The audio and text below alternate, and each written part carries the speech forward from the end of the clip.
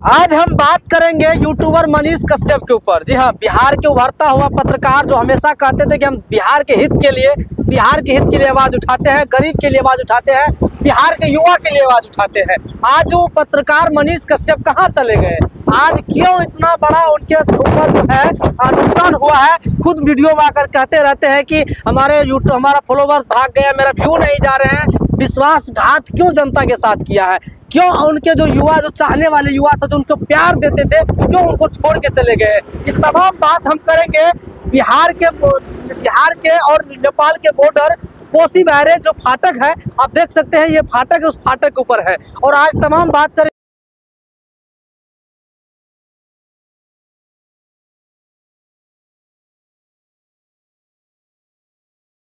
आपका स्वागत है हम आशीष जी।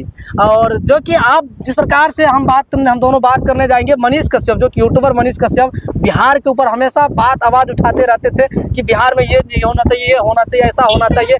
कई बार शायद इस बैरेज के ऊपर आए हैं, मनीष कश्यप, यहाँ से भी आवाज़ उठाए हैं। ये ये वही जगह है जो तो मनीष राजनीतिक भविष्य के बारे में जानना चाहते हैं? जी जी बिल्कुल मनीष देखिए मनीष कश्यप के बारे में जानना चाहते हैं। तो मनीष कश्यप को जो लोग जानना चाहते हैं उनके लिए हमारा सबसे बड़ा एक चीज़ है कि डिसिप्लिन जो वर्ड होता है अनुशासन। जी। कहीं ना कहीं वो अनुशासन उनको बर्बाद कर दिया। जैसे कि ये पानी आप देखिएगा उधर उबलता हुआ पानी है उफलता हुआ पानी है क्योंकि उधर से वो बह रहा है। लेकिन यहाँ पर उसको रोक दिया गया है बैरस से और इधर ये शांत पानी है। तो उसी तरह से अगर आप शांत अपने लाइफ में जीवन में अगर रहते हैं तो एक बड़ी क्रांति कर सकते हैं। और उफलता हुआ रहिएगा तो आप बह के खत्म हो जाएगा तो कहीं ना कहीं मनीष कश्यप को अगर समझना है राजनीतिक करियर को समझना है तो उसके अलावा भी बिहार के दो पॉलिटिशियन ऐसे हैं जो लंबे संघर्ष संघर्ष के बाद जगह पर पहुँचे। उनके लाइफ को और इनके लाइफ को अगर आप कंपेयर कर लेंगे तो समझ में आ जाएगा कि वो क्या किए और ये क्या किए। इसमें पूर्णिया के जो निर्दलीय सांसद हैं पप्पू यादव, उनके लाइफ को समझना पड़ेगा। और उसके अलावा पूर्णिया के रूपाली से निर्दलीय सांसद शंकर सिंह हैं उनके लाइफ को समझना पड़ेगा। तो आसानी से आप समझ जाएँगे कि क्या रहा जिसके कारण से मनीष कश्यप जो बड़ा फ़ेमस थे। जनता उनको चाहती थी ये कोई बात नहीं है कि देखिए जब पत्रकार थे उससे पहले 2020 में वो चुनाव लड़े थे। और जी। 2020 में चुनाव लड़े उसके पास एक टीम तैयार हो गया और उस टीम के तैयार होने के बाद उनका स्टार्टअप बढ़ा और उनका चैनल पूरा बिहार का सबसे टॉप लेवल पर चला गया सबसे बड़ा चैनल हो गया। लेकिन बर्बाद कहाँ से हो गए? तो जब से चर्चा हुई कि जेल से बाहर आएँगे चुनाव लड़ेंगे। चुनाव लड़ने के लोगों के बीच में चले गए। पहले उम्मीद जताई जा रही थी कि भाजपा टिकट देगा नहीं दिए तो उसके बाद चुनाव लड़ने के और एकाएक सरेंडर कर दिए। भाजपा में भाजपा के खुद में जाके बैठ गए और उसके बाद वहीं से राजनीतिक भविष्य खत्म हो गया। लेकिन वही कहानी हो गया जो एक फ़िल्म था शायद नाम हम लोग को याद नहीं आ रहा लेकिन सनी देवल उसमें हीरो था। जी। और कातिया करके उसमें नाम था गुंडा का डैनी गुंडा था। और उसको बुलाता है जब देख लेता है इसके पास पावर है ना तो उसको कहता है कि आ जाओ। और वो कहता है तुम मेरे लिए काम करो। हम हम्म। तुमको रोटी देंगे हम तुमको नाम देंगे तुम तुमको पावर देंगे। तो वो सनी देवल उसके पास नहीं जाते हैं। वो ये कहते हैं कि कातिया, तुम चाहते हो कि हम तुम्हारा कुत्ता बन जाए। जो कुत्ता तुम्हारे चारों हुए थे तुम कहो तो भौंके, तुम कहो तो उठे, तुम कहो तो बैठे, तुम कहो तो रोए। ये नहीं हो सकता, हम शेर हैं, शेर भूखा रहेगा, लेकिन दहाड़ेगा तो फिर उसकी गरज दूर तक पहुँच जाइए। उसी तरह से अब यहीं से आपको समझ में आएगा कि इसको मनीष कश्यप को जनता समझा था शेर। लेकिन कि थोड़ा सा स्टार्टिंग के बाद आपको कॉरपोरेट और जो पार्टियाँ होती है ना, वो तो तैयार रहती ही हैं। लोग चाहते ही हैं कि आप उनके पास आ जाइए। अगर आप में देख लेगा कि टैलेंट है थोड़ा बहुत भी आपके अंदर कुछ है क्षमता तो लोग आपको अपने अधीन बनाना चाहेगा। वही सेम हाल हुआ यहाँ पर, भाजपा ने उनको अपने अधीन बना लिया। अब ये बेचारा जो है, वो अधीन हो गया, अधीन हो गए तो ऐसा कुछ हुआ कि ना तो भाजपा ने लोकसभा का टिकट दिया, ना भाजपा ने राज्यसभा का भेजा, ना भाजपा ने एमएलसी बनाया। अब भाजपा उसको विधायक का भी टिकट नहीं देगा। अब फॉलोइंग गिरा लगा अब इसको समझिए। अब जो हम लोग एक एग्ज़ाम्पल दिए थे, आपको पप्पू यादव के बारे में। सेम जो हाल पप्पू यादव का पूर्णिया में था वही हाल पश्चिम चंपारण मोतिहारी जहाँ से लड़ना चाह रहे थे ना वो सेम हाल था। ये भी निर्दलीय जा रहे थे फ़ील्ड में वो भी। निर्दलीय प्रैक्टिस कर रहे थे। इनको भी बुलाया गया कहा? दिल्ली। कहा गया कि आइए कांग्रेस में ज्वाइन कर कर। पटना बुलाया गया। लालू यादव इनको बोले कि टिकट ले लो मेरा चल जाओ। कहाँ? मधेपुरा। उन्होंने कहा कि मर जाएँगे लेकिन पूर्णिया नहीं छोड़ेंगे। बात समझिएगा। ये एक डेडिकेशन होता है। ये पॉलिटिक्स है। पॉलिटिक्स में जनता का इमोशन अगर आप जीत लिए हैं क्योंकि जनता ही किसी को हीरो बनाता है। तो जनता ही लालू यादव को बनाया है जनता ही नरेंद्र मोदी को बनाया है जनता ही मनीष कश्यप को बनाया है जनता ही पप्पू यादव को ही बनाया है। तो पप्पू यादव डेडिकेटेड रहे। उससे पूर्व तक पप्पू यादव का कोई बहुत बड़ा माहौल नहीं था।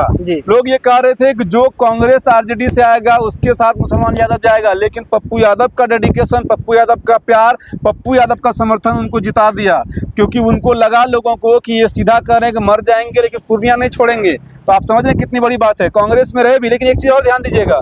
लालू यादव के पुत्र तेजस्वी यादव पप्पू यादव के खिलाफ किए लेकिन वो कभी एक बार खिलाफ नहीं किए। वो मालूम था उनको कि मेरा वोटर जो है वो लालू यादव का वोटर है। सही। अगर हम उनके खिलाफ बोलेंगे तो उनको नाराज़गी हो जाएगी? उसको बोलना है, बोलने दीजिए। हम ये पॉलिटिक्स है। आपको जितना गाली पड़ेगी जनता का प्यार आपके प्रति उतना अधिक होगा। और जनता आपका चुनाव जो है अपना चुनाव समझ के लड़ेगी और वही हुआ पूर्णिया में। अगर आप समझिए उसी तरह का एक और विधायक है क्योंकि देखिए ये लोकसभा में गरज रहे हैं। और एक और विधायक है रुपौली का विधानसभा में गरज रहे दोनों जगह पूर्णिया बना है और यही दोनों है जो निर्दलीय खाली जीते हैं। ये भी अपने आप बड़ा बात है। हम इसीलिए बता रहे थे ये चीज़ कि वो भी यानी शंकर सिंह को पता था कैसे कहाँ से करने से क्या होगा। पाँच बार हारे हैं वो छठा बार में चुनाव जीते बात समझिए। कितना बड़ा पेशेंस रहा होगा वो। लेकिन-। कितना संघर्ष रहा होगा। लेकिन मनीष कश्यप जो 2020 में निर्दलीय लड़े तभी भी इनकी भाजपा से अट्रैक्शन थी। भाजपा से नजदीकियाँ थी लेकिन भाजपा ने इनको टिकट नहीं दिया। तो जब पहली बार 2020 में लड़े तो लोगों का सपोर्ट बना, युवाओं का सपोर्ट बना, मनीष कश्यप को बड़ा यूट्यूबर बना दिया। उसी तरह से अगर 2024 इनका नजदीकी भाजपा से था, सब लोग जान रहे थे, लेकिन भाजपा इनको टिकट नहीं दे रही थी। तो अगर ये चुनाव लड़ते वहाँ से और ये हार जाते, दूसरी हार होती इसका तो लोगों या होते थे कि स्टार्टम बड़ा था। जब ये जेल में थे तो पूरा बिहार कह रहा था कि इनको मुख्यमंत्री बनाना है। कह रहा था नहीं कह रहा था? बिल्कुल, बिल्कुल। आपको जनता मुख्यमंत्री बनाना चाह रहा था। आप सरेंडर कर दिए कि भैया हमको बना दीजिए आप सांसद। तो आपको तो जनता कह दिया साला हम चुने थे इसको मुख्यमंत्री के लिए। बनाना चाहिए। इस चुने थे इसको बनाए थे शेर। इस चूहा निकल गया। हम कैसा शेर चुन लिए हैं? हम कैसा भगवान चुन लिए हैं? जनता तो भगवान भी जो है ना कैटेगरी विद्यार्थी किसको पूछता है? सरस्वती माता को। कहा पूछता है? सरस्वती माँ विद्या देती है। क्रिमिनल माइंडेड किसको चुनता है? काली माँ को चुनता है। कहा काली माँ एक ऐसा भगवान है जो पराक्रम दिखाती है। बात समझिएगा। और भी कोई लोग पावरफुल लोग किसको चुनते हैं? महादेव भगवान। को यानी कि भगवान भी कैटेगरी के हिसाब से चुना जाता है। है कि नहीं? गलत कह रहे हैं क्या? मुसलमान चुनते हैं अपना अल्लाह को क्रिश्चन चुनता है किसी और को आदिवासी चुनते हैं किसी और को। तो उसी तरह से जब आपको लोग कह रहा था मुख्यमंत्री उम्मीदवार हम बनाएँगे इसको और आप चले गए सांसद बनने के लिए उसके बाद आप प्रचार के ये समझ नहीं पाए भाजपा के चाल को जबकि देखिए कन्हैया कुमार हारे ना दो बार जीत। जी। एक बार वाम दल से आए कम्युनिस्ट वाला से तो मान लीजिए जो भी वोट बांटा बेगूसराय से। लेकिन कन्हैया के साथ में राजनीति हो रहा है। देखिए वो होगा ही क्योंकि अगर आप फ़र्स्ट जनरेशन में हैं चाहे आप बिजनेसमैन से हैं परिवार से या फिर आप पॉलिटिक्स में आ रहे हैं फ़र्स्ट जनरेशन को कुर्बानी देना पड़ता है। सेकेंड जनरेशन मौज करता है थर्ड जनरेशन जाके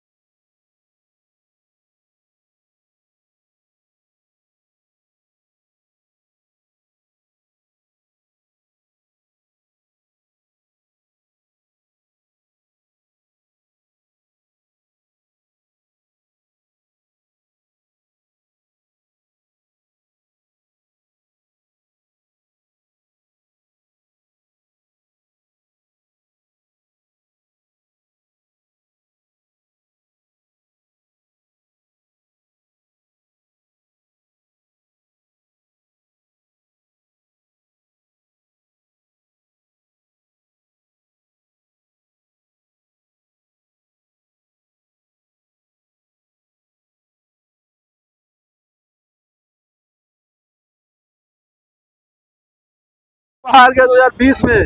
हारने के बाद बड़ा बड़ा कोई छोटा सा विधायक जो उसको देख के कन्नी काट लेता था। सही बात। जैसे कि जब शेर कमज़ोर हो जाता है तो चूहा चढ़ जाता है उसके ऊपर में जानता है कुछ नहीं कर पाएगा। पप्पू यादव को सोचिए कितना मेहनत लगा होगा कितना डिमोरलाइज फील हुआ होगा पाँच साल तक बिना शासन के रहे। लेकिन फिर पाँच साल के बाद दो हज़ार चौबीस में जनता क्या किया उनको?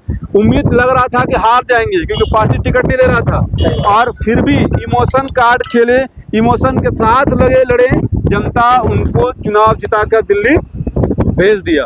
अगर यही मनीष कश्यप करते तो शायद आज जो है, लोकसभा में दहाड़ रहे होते, या नहीं लोकसभा में दहाड़ रहे लोकसभा हार भी जाते ना तो 2025 विधानसभा में जनता उनको ज़रूर चनपटिया विधानसभा से चुनाव जिता कर भेजती। लेकिन उन्होंने अपना लेवल घटा दिया, जनता उनके साथ दूर हो चुकी है, यही वजह है कि अपना व्यूज़ है ना पॉलिटिक्स में उनका कोई अहम किरदार है। उनको सिखा मनीष दिया ना करिए कश्यप को। ऐसा भी हो गया कि उनका दोस्त लोग जो साथ में था वो भी साथ छोड़ दिया है। और छोड़ इसने छोड़ दिया। बोले ना आपको समझा बढ़िया आदमी बड़ा नेता समझा बड़ा आदमी का गुण समझा और आप सरेंडर करके छोटा निकल गए।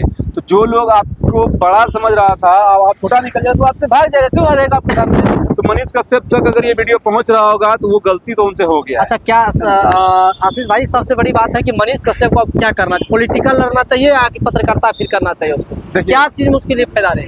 शेर के अंदर जब ये भावना आ जाता है, या पॉलिटिकल जो लोग होते हैं ना, उनके अंदर ये पॉलिटिक्स का जुनून बहुत पहले होता है। तो आज ना आपको दिख रहा है क्योंकि सरकार का जो पच्चीस साल के बाद जो लड़ सकते हैं, लेकिन कि जो नेता बनना चाहते हैं, जो लीडरशिप होता है ना उसके अंदर गुण पहले से होता है। लीडरशिप है क्या? जैसे अभी हम लोग यहाँ पर हैं चार पाँच लोग खड़े हैं उधर भी लोग देख रहे हैं। शायद भी अगर किसी का एक्सीडेंट हो गया आप आगे बढ़ के उसको यही लीडरशिप है जी। आप किसको यहाँ पर बोलने वाला आ गया कुछ आप बोल दिए आगे बढ़ के वही लीडरशिप है। उसी तरह से मनीष कश्यप का लीडरशिप का गुण है ये बात तय है क्योंकि चैनल के वो ऑनर अगर वो किसी चैनल के एम्प्लॉय होते किसी हॉस्पिटल के डॉक्टर होते एमडी नहीं होते तो उसके अंदर ऑनरशिप का गुण नहीं था लीडरशिप का गुण नहीं था। लेकिन लीडरशिप का गुण मनीष भाई के अंदर है और वो लीडर ही बनेंगे सक्सेस भी करेंगे। लेकिन हाँ जो आप अपना लेवल गिरा दिए, जनता आपको बहुत ऊपर पसंद समझती है तो ये आपका कहीं ना कहीं छवि को खराब किया है। उनको फिर से मैदान में आना चाहिए। लड़ने के तैयार होना चाहिए, गिरने के तैयार होना चाहिए। जैसे कन्हैया कुमार दो बार गिर चुके हैं, फिर भी लड़ रहे हैं ना जी? उसी तरह से इनको अब 2025 अगर भाजपा के साथ इनका है ताल्लुक, टिकट देते हैं तो भी चुनाव लड़िए, नहीं देते हैं, फिर भी लड़िए। एक बार हारिएगा, दो बार हारिएगा, जनता है, माफ़ कर देगी आपको। और उसके बाद कहीं ना कहीं जीत आपको मिल सकता है। फिर अपना दहाड़िए जब सब दहाड़ रहे हैं, काम करिए। जनता को अच्छा लगेगा, फिर दोबारा मौका देगा, नहीं अच्छा लगेगा, नहीं मौका देगा। लेकिन इस तरह से मैदान छोड़ के जो भाग गए, छल कर दिए जो ये सोच के आपके साथ जुड़ा था कि हम भाजपा के खिलाफ आपके साथ जुड़ रहे हैं और आप भाजपा में चले गए यानी कि आपको उनका सौदा कर दिया जाएगा ना कि हम आ गए हैं बड़ा वाला कुत्ता और हमारे साथ छोटा छोटा लोग भी आ जाए। तो कहने के लोग आपको शेर समझ रहा था आप कातिया वाला कुत्ता बन गए तो इसी कारण से लोग भाग गए आपके साथ में। चलिए बहुत बहुत धन्यवाद आशीष जी आप पूरा तमाम बातों को जवाब देने के लिए। और देख सकते हैं कि सबसे बड़ी बात नुकसान क्या है कि मनीष कश्यप के साथ देने वाले रवि भट्ट कुमार अभिनव तमाम ऐसे दोस्त हैं जो कहीं ना कहीं उसके साथ देने वाले थे, सब आज के साथ छोड़ के अलग हो चुका है। दूसरी बात यहाँ पे ये भी निकल के आते हैं कि रवि भट्ट किस प्रकार से अपना मन जो कि ऑफ़िस का ओपन ओपन किया, जो कि पटना में, लेकिन फिर भी मनीष कश्यप वहाँ तो आना ही था, लेकिन रवि भट्ट उनसे भी नाराज़ थे या दुखी थे, इसलिए उसको छोड़ करके पटना के एक मशहूर जो है कि टीचर है, खान सर, उनको बुलाए और उनको बुलाकर अपना फीता कटवाए, उद्घाटन करवाए। आप समझ सकते हैं कि जो मनीष कश्यप आना था, लेकिन आज यहाँ पे कुछ न कुछ रीजन है, इसलिए मनीष कश्यप को छोड़ करके पटना के खान सर को बुलाए और कहीं ना कहीं उसके बाद फीता कटवाए। और इसमें देखा जा रहा है कि मनीष कश्यप को कहीं ना कहीं एक हाथ मतलब जो कि आप कहीं ना अगर निर्दलीय लड़ते तो उनको बहुत बड़ा फ़ायदा हो सकता था। लेकिन उसको मनोज तिवारी, जो कि दिल्ली के सांसद है, वो कहीं ना कहीं उनको झांसा दे करके बुला करके बहुत बड़ा उसका छवि को नुकसान मतलब ये सीधा आप समझ जाइए ना अगर आप पॉलिटिक्स में हैं स्टेबल होना चाहते हैं और ग्राउंड पॉलिटिक्स में है प्लस आपका कोई परिवार पहले से नहीं है फ़र्स्ट राउंड फ़र्स्ट जनरेशन का पॉलिटिशियन है तो आपको संघर्ष करना पड़ेगा। आपको पहले हारना पड़ेगा। पॉलिटिक्स का डिफिनेशन है पहले लड़िए हारने के लिए दूसरा लड़िए हराने के लिए तीसरा लड़िए जीतने के लिए। हमारे नीतीश कुमार है ना सबसे बड़ा नेता चाहे कुछ भी हो जाता है सबसे कम सीट है उनके पास विधानसभा में विधायक का लेकिन फिर भी मुख्यमंत्री है वो भी चुनाव हारे हैं एक बार नहीं तीन तीन बार हारे हैं चुनाव। तो अगर आप चुनाव हारते हैं तो और फिर भी मैदान नहीं छोड़ते हैं तो जनता का इमोशन आपके साथ आ जाता है। और जनता ही हीरो बनाता है। रुपौली के शंकर सिंह को हीरो बनाया, पप्पू यादव को हीरो बनाया तो किसी भी आदमी को जो नेतागिरी में स्टेबल है और एक ही विचारधारा को अगर लेकर आप चल रहे हैं तो आज नहीं तो कल जनता आपको भी हीरो ज़रूर बनाएगी। सीखिए पप्पू यादव से सीखिए नगीना से सांसद चंद्रशेखर से सीखिए रुपौली के विधायक शंकर सिंह से। ये तीनों एग्ज़ाम्पल ऐसे हैं जिनको लंबे संघर्ष के बाद ही इस बार सदन में भेजा गया है जनता के द्वारा।